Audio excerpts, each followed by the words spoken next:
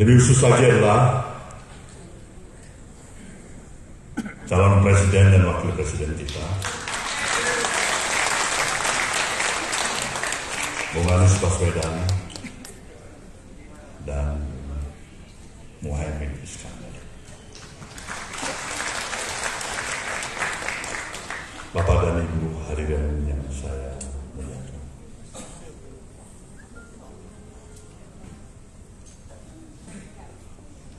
Tanpa terasa perjalanan waktu. Sejak 3 Oktober tahun 2022 dan hari ini 19 Oktober. Itu artinya sudah satu tahun 16 hari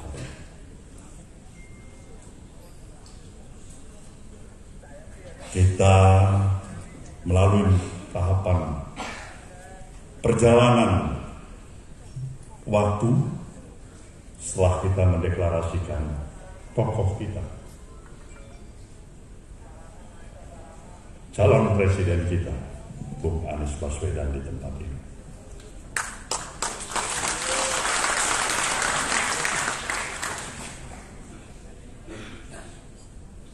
Seluruh energi yang kita miliki telah kita daya gunakan sedemikian rupa. Untuk apa? Untuk agar spirit, semangat, niat baik kita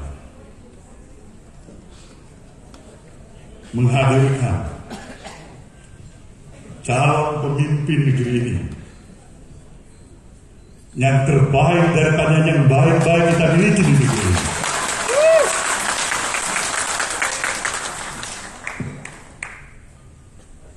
Dan kita semua yang melalui jalan yang kita lalui bukanlah jalan yang biasa-biasa saja.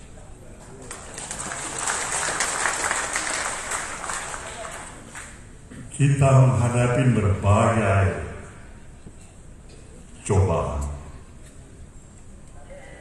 Kita juga menghadapi berbagai perasaan sinisme, ketidakpercayaan, keraguan, seakan-akan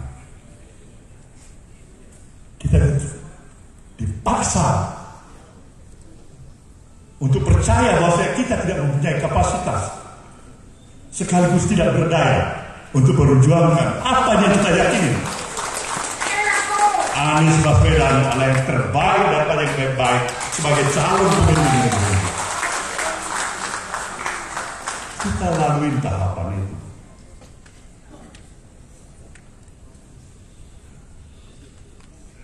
Dan itu juga tidak terlepas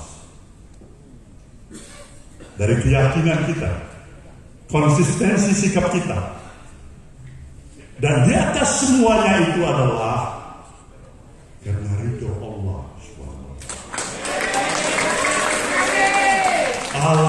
Semesta memberikan dukungannya kepada kita. Hingga betapa besarnya dan betapa beratnya rintangan itu, insya Allah kita akan mampu melewati itu. Kita akan mampu melewati itu, dan insya Allah kita akan membawa kemenangan kepada pasangan kita ini.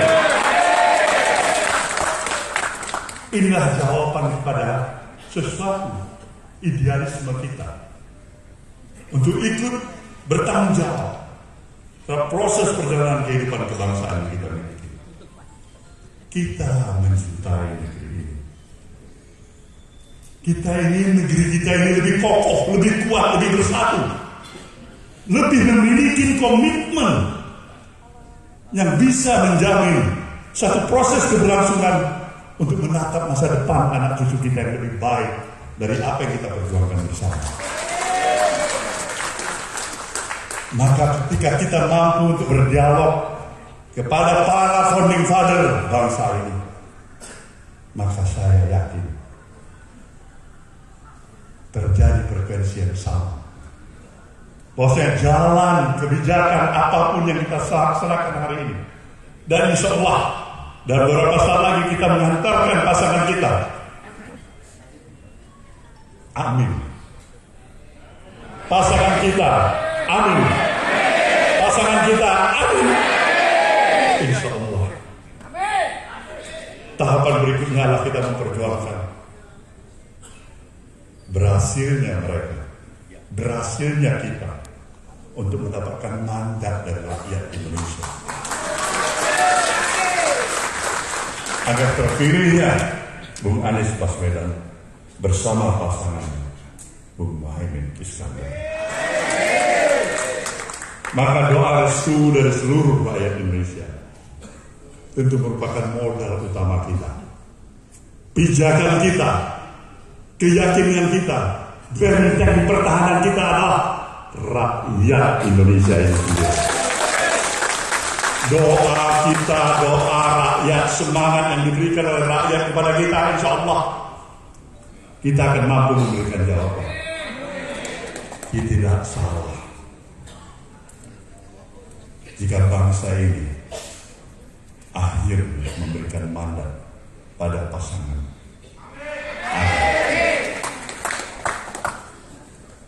Teruskanlah untuk kita bergandengan tangan. Di antara semua komponen dan elemen masyarakat membawa konsepsi pemikiran dan gagasan kita niat baik kita untuk mempersatukan bangsa ini kita adalah bangsa Indonesia dengan komitmen semangat pluralisme kebangsaan yang tidak perlu diragukan oleh siapa pun Pasangan inilah mempunyai sejatinya komitmen yang melekat. Arti dan nilai spiritual kebangsaan yang mereka miliki. Indonesia Raya. Indonesia kita cinta. Semoga koalisi perubahan akan dengan berbesar hati, dengan penuh keyakinan, mempersembahkan pasangan ini sebagai putra yang terbaik untuk memimpin bangsa. Inilah kedara sambutan kita pada pagi hari ini. Mari kita bersama-sama mengantarkan pasangan kita ke Komisi Pemilihan Umum dan sekali lagi kita harus tetap melaksanakan komitmen profesionalisme dan moralitas kita. Amar ma'ruf nahi munkar. Satunya kata dan perbuatan dan itu adalah kita saudara semua. Wabillahi taufiq wal hidayah. Wassalamualaikum warahmatullahi wabarakatuh. Waalaikumsalam warahmatullahi wabarakatuh. Terima kasih